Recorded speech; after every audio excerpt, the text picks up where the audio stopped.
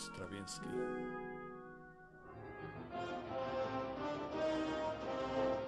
Sergiej Prokofiew.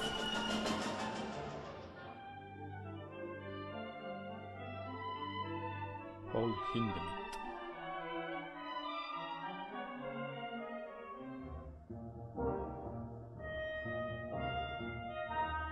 Dmitry Shostakovich.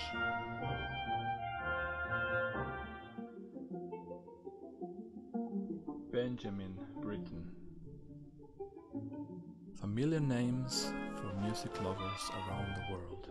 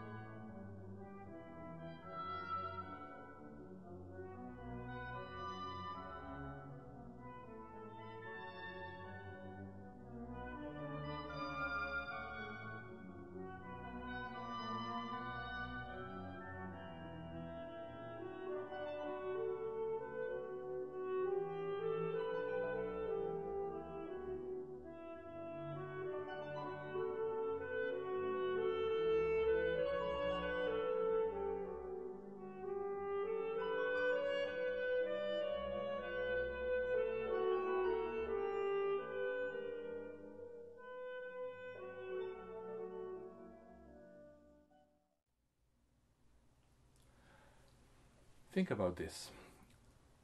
The Norwegian composer Harald Sæverud was born 16 years after Bela Bartok, 16 years before Benjamin Britten. Incidentally, also exactly two weeks after the death of Brahms. Well, it is now uh, 20 years after the death of Sæverud in 1992, and he is still far from a household name among the music public. This, in spite of the high quality of the output that he left us, which includes many orchestral compositions, a lot of music for solo piano, music for a diversity of ensembles, and for solo instruments with or without accompaniment.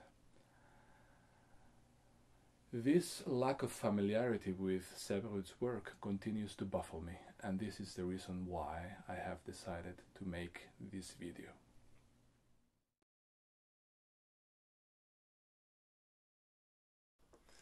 My first encounter with the music of Harald Sæverud uh, happened in 1985 or 86 while I was a student at the Eastman School of Music in Rochester, New York. My fellow student, the Norwegian pianist Einar Røttingen, performed a few of Sæverud's pieces for solo piano at a concert. The music seemed to me both familiar and new. It was as if music was speaking through this composer, but in an entirely new dialect. A dialect that was very attractive to me. Einar Røttingen often mentioned the name Harald Sæverud to me. In my mind, this name conjured up an image of some kind of magic man or ancient druid from the deep forest. I finally met Harald Sæverud on July 27, 1986. Einar Røttingen introduced him to me, and we spent a whole evening at his home, Siljustøl, that wonderful mansion outside of Bergen, where Sæverud lived between 1939 and the year he died, 1992. I was immediately struck by Sæverud's powerful presence. And by the time I heard him sing the opening bars of his famous piano piece, Kjempeviseslåtten, or Ballad of Revolt, he had completely captivated me.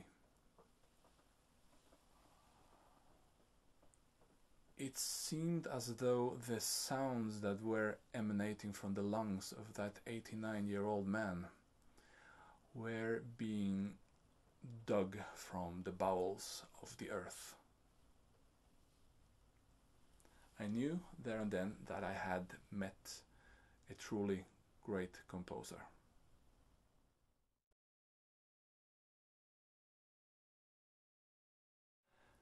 This is not the place to discuss Harald Sæverud's vast musical output. I do, however, wish to say a few words about the string quartets. Sæverud developed an interest in writing chamber music quite late in life. Uh, he was 73 when he composed his first string quartet, and uh, well over 81 by the time he completed the third one. He also wrote two woodwind quintets later on. The three string quartets form a very interesting collection. Aside from their individual merits, they're very different from one another. The first one is the shortest uh, and it plays uninterrupted in one movement. It's called Serenades of the Two Rivals. And the two rivals are represented by the viola and cello, who are asked to sit in front of the ensemble with the two violins sitting behind. There is a small story attached to the piece. Um, we have a love-struck gentleman who late at night stands under the window of his beloved in order to serenade her. So very nice and very well. But a few moments later, another man shows up wanting to serenade the same lady. As one might expect, uh, a conflict arises. Well, there's much arguing and toing and froing and so on. But after a while, it is decided that both will get to sing his serenade. So this takes place, but judging from the final fight between the cello and the viola, it's clear that no positive outcome comes out of it.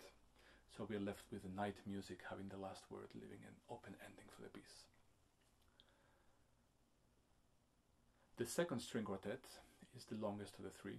Very ambitious composition, almost what could say uh, of symphonic proportions.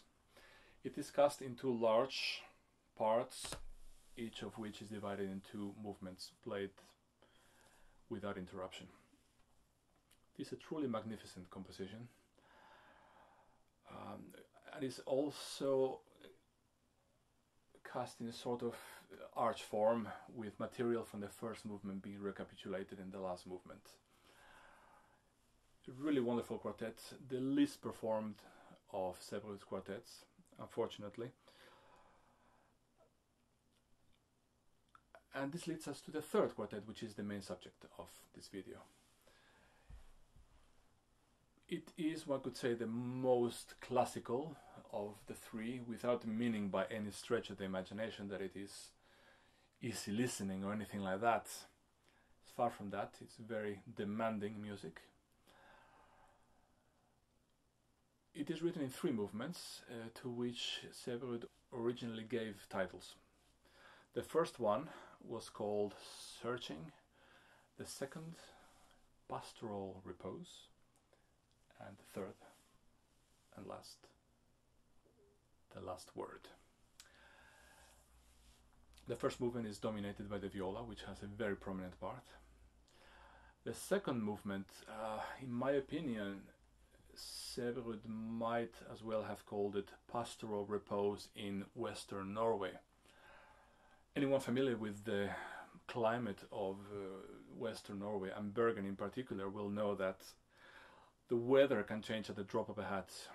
A beautiful sunny day can suddenly turn into a rainstorm.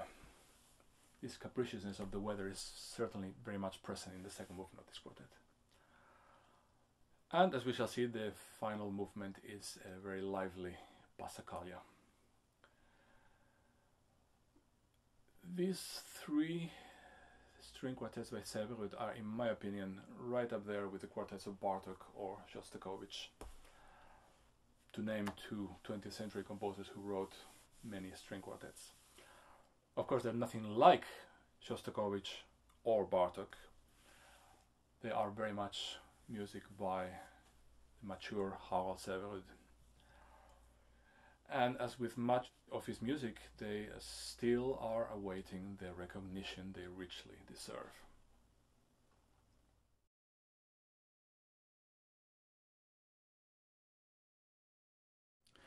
The movement opens with five notes played by the viola. An ascending minor second, a descending minor second, and a lift of a major third, immediately answered by three pizzicato notes on the cello, to which the viola replies with yet five more notes. This small dialogue sets the mood for the rest of the introduction, during which the first proper theme is hinted at several times. It finally appears in full bloom, played by the first violin.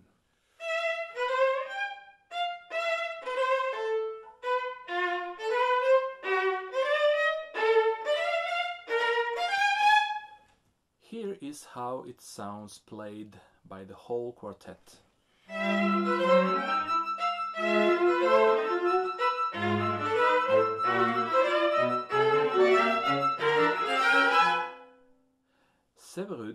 Had earlier used this theme on his orchestral work Sonata Jubilata.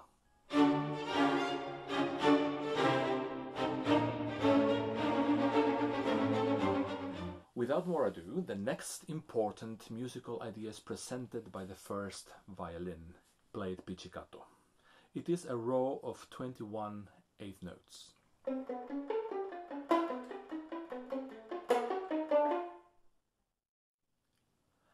This sets in motion a process of continuous variation, very characteristic for Sæverud. See for example how the cello makes a rhythmic variant of this 21 note idea with interjections from the second violin.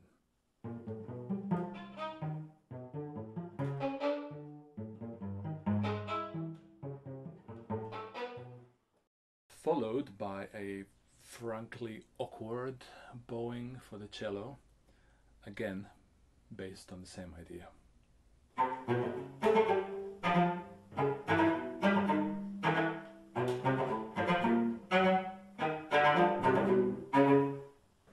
Sæverud was fond of stretching the players beyond their comfort zone in order to create tension and excitement in the music.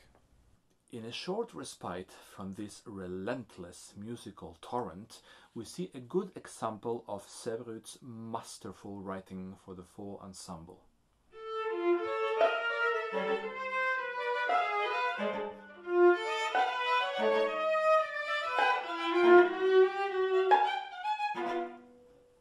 On first look, it may appear that the entire group is playing on this passage. However, Look closely and you will see that there is as much silence in the parts as there is sound, except for the viola which plays continuously. The second violin and cello share an idea while the first violin reinforces the second beat of the bar with a pizzicato note. Eventually, the first theme and the 21 note motif end up playing simultaneously, and as if by magic, a new idea emerges. It is again hinted at several times before it appears in its full form.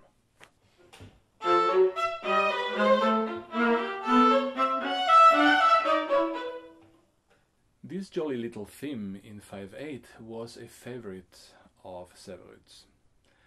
Originally number 11 in his 20 duets for two violins, it reappeared on the Minnesota Symphony and on the second woodwind quintet. It is no coincidence that the theme is in five. Remember the five notes with which the viola opened the movement?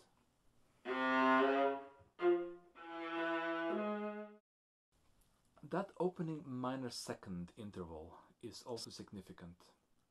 It carries on to the concluding, rather bizarre viola solo, based precisely on the repeated falling minor second B flat A.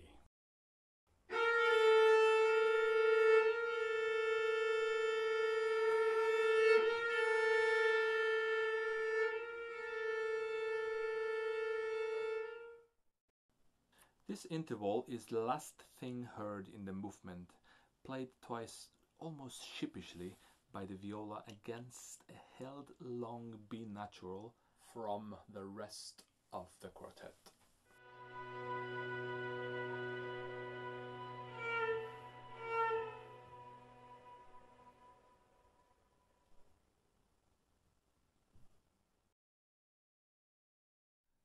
The second movement seems to grow out of the ending of the first one.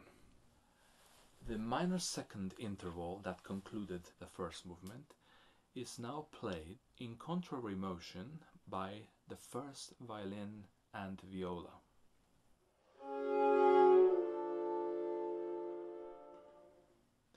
A new five-note motif appears on the second violin, answered by five more notes in the cello, both played pizzicato.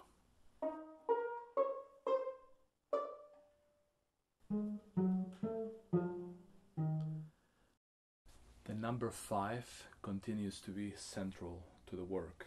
Soon, a long singing theme dominated by a Siciliano rhythm is presented by the first violin.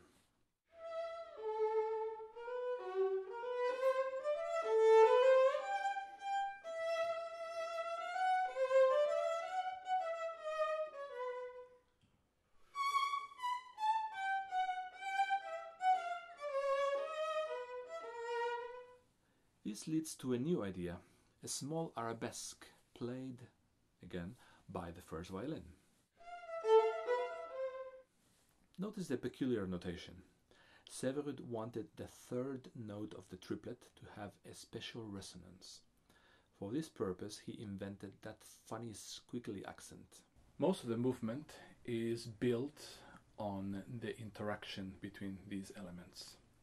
The cello gets to play the violin theme in its entirety before a transition leads to the appearance of a new theme.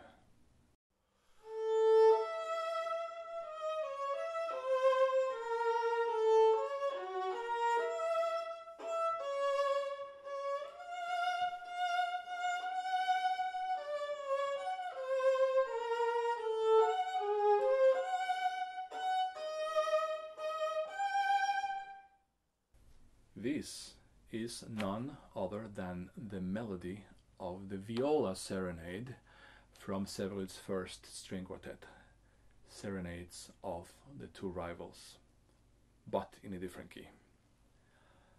This new theme steers the music towards unrest and turmoil. Eventually, the long violin theme reappears, this time played pianissimo and in canon with the viola. A new build up brings the music to an even higher peak of intensity before finally the music sinks into the pastoral restfulness promised by the original title. A typically outlandish introduction ushers in the third movement, a passacaglia based on a theme of, not surprisingly at this stage, five measures presented by the viola.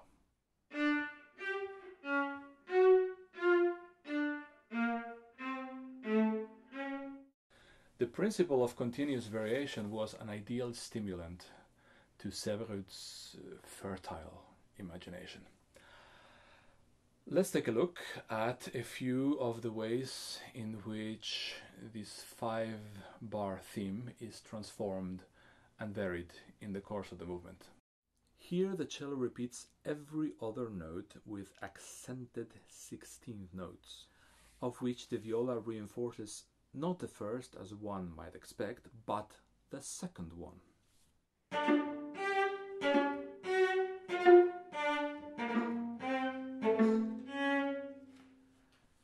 Here the cello, again, plays the notes of the theme in the right order, but with octave displacements.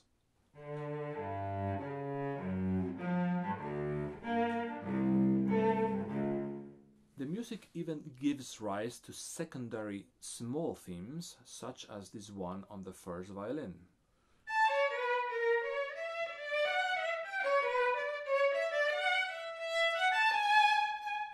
Or this dialogue between the violins.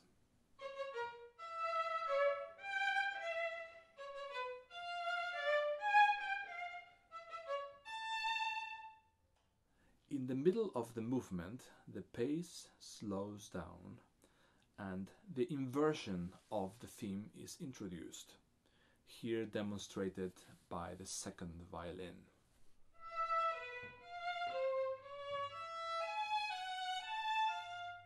It is interesting to note that the first part of this movement was originally intended as a piano piece to be included in the fifth book of tunes and dances from Siljustøl, which never materialized. It would have occupied the opus number 26, which, as we know, does not exist in Sæverud's work list.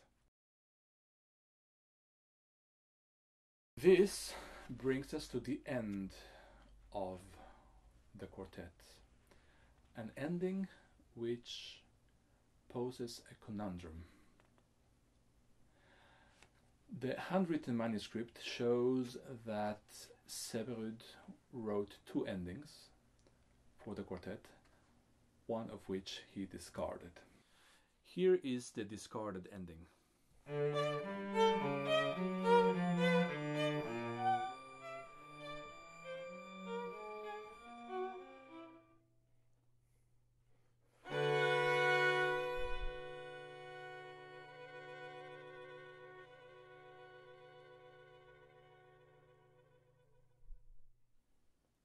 The final chord is unequivocally a sixth chord. B minor in first inversion with the root B natural on the viola.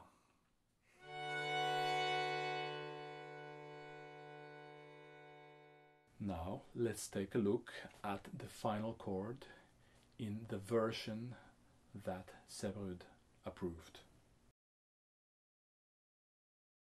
As we see, the notes of the chord are placed exactly on the same place in the staves as in the discarded ending.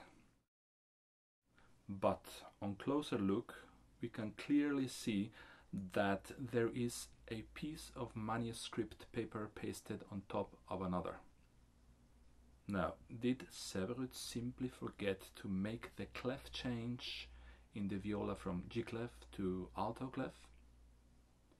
Without the clef change, we are left with a peculiar sounding D major chord with the fifth on the top, played by the viola.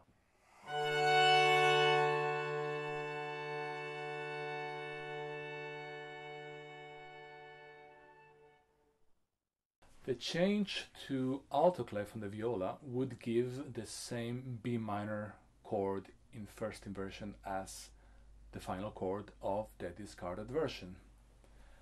So, which is right? Unfortunately, I never had the opportunity to discuss this with the composer. However, I am inclined to espouse the theory that Sæverud simply made the human mistake of forgetting to append that alto clef in that piece of paper that he pasted at the end of the page. The sixth chord has such a characteristic sound that it is hard for me to imagine that Sæverud would want to change it to a D major on a whim. The two available recordings of this quartet, on one of which I was involved as the first violinist, both play the last chord as a D major with the viola fifth on top. So, the performance you're about to hear and watch is possibly the first time that the piece has ever been performed with a B minor in first inversion as the final chord. Well, these were only a few comments to hopefully help you enter into the world of Sæverud's third string quartet. I certainly did not wish to give a detailed description of the piece. It would take much too long and it would be frightfully tedious. Uh, descriptions of good music are inevitably never nearly as good as the music itself and the listener has certainly the right to experience the joy and thrill of uh, getting to know, discovering a music by himself or herself. So you're about to watch now a performance of Sæverud's third string quartet. I am very happy to have made this video with three very talented young players.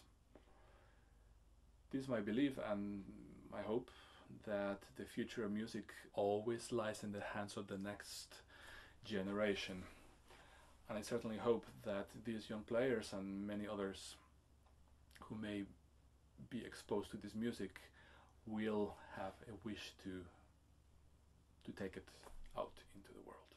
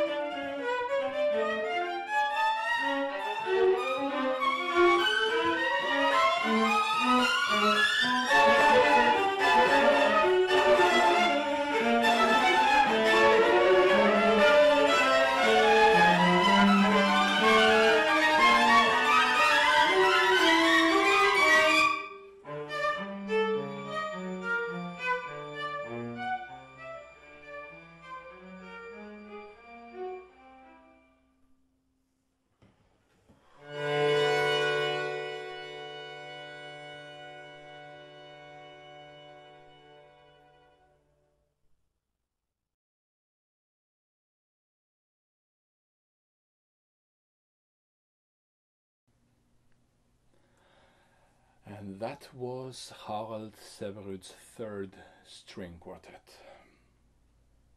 And so we have come to the end of this video, a video which you will have noticed has been made with very modest means. Mind you, I would have been just as happy to have made the film with a professional camera crew.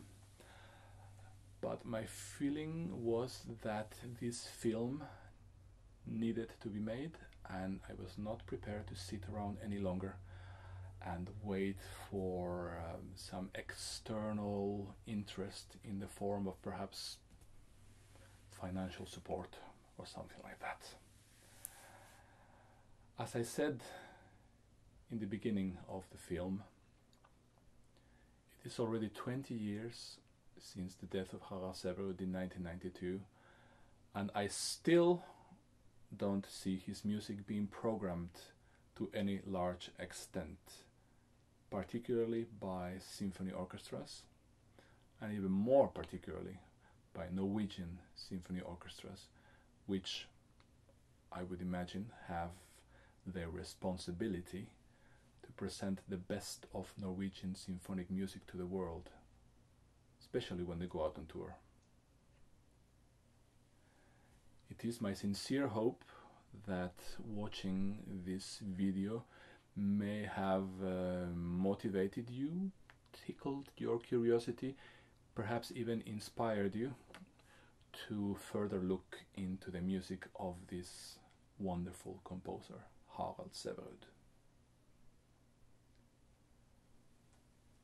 At any rate, thank you very much for your attention and goodbye.